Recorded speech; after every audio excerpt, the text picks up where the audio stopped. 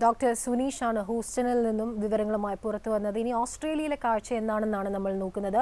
Australia ശക്തമായ മാർഗനിർദ്ദേശങ്ങളൊക്കെ തന്നെയാണ് ഈ കോവിഡിനെ നേരിടാനായിട്ട് ജനങ്ങൾക്ക് മുൻപിൽ വെച്ചത്. അതെന്താണെന്ന് നോക്കാം.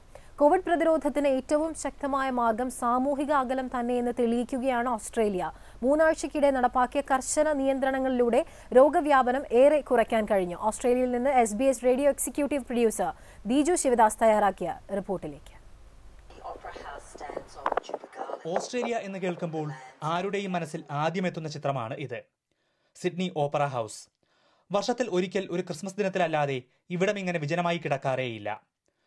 കൊറോണ വൈറസ് പ്രതിരോധത്തിന്റെ ഭാഗമായി നിയന്ത്രണങ്ങൾ പ്രഖ്യാപിച്ചതോടെ അവധി ദിവസങ്ങളിലും ഓപ്പറ ഹൗസും ഹാർബർ ബ്രിഡ്ജും പരിസരവുമെല്ലാം ആളൊഴിഞ്ഞു കിടക്കുന്നു.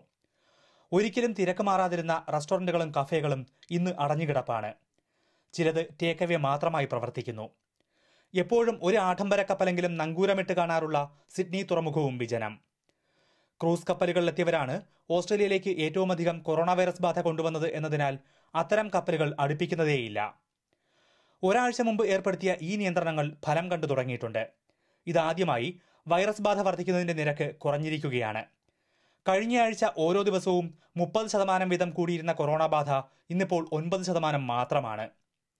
ഈ സാഹചര്യം പരമാവധി പ്രയോജനപ്പെടുത്തുക എന്ന ലക്ഷ്യത്തോടെ കൂടുതൽ നിയന്ത്രണങ്ങൾ പ്രഖ്യാപിച്ചിരിക്കുകയാണ് ദേശീയ ക്യാബിനറ്റ്.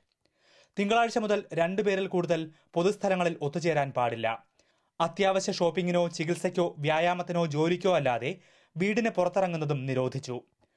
ആരോഗ്യരംഗത്തും സാമ്പത്തിക രംഗത്തും സഹായവുമായി സർക്കാർ അധിക പാക്കേജ് പ്രഖ്യാപിക്കുകയും ചെയ്തിട്ടുണ്ട്.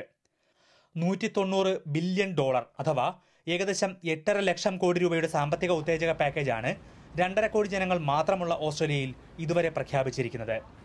ജിമ്മുകൾ ഉൾപ്പെടെയുള്ളവ അടച്ചു കഴിഞ്ഞെങ്കിലും വ്യായാമം ചെയ്യുന്നത് കുറയ്ക്കരുത് എന്നാണ് ഈ കൊറോണ കാലത്ത് ഓസ്ട്രേലിയൻ ആരോഗ്യവകുപ്പിന്റെ മുന്നറിയിപ്പ്. അപ്പോൾ കുടുംബത്തോടൊപ്പം പാർക്കിലൊന്ന് നടക്കാൻ പോവുകയോ അല്ലെങ്കിൽ സൈക്ലിങ്ങിന് പോവുകയോ മാത്രമാണ് ഇപ്പോഴുള്ള മാർഗം. സിഡ്നിയിൽ നിന്നും ഏഷ്യാനെറ്റ് ന്യൂസിന് വേണ്ടി ദിജു ശിവദാസ്.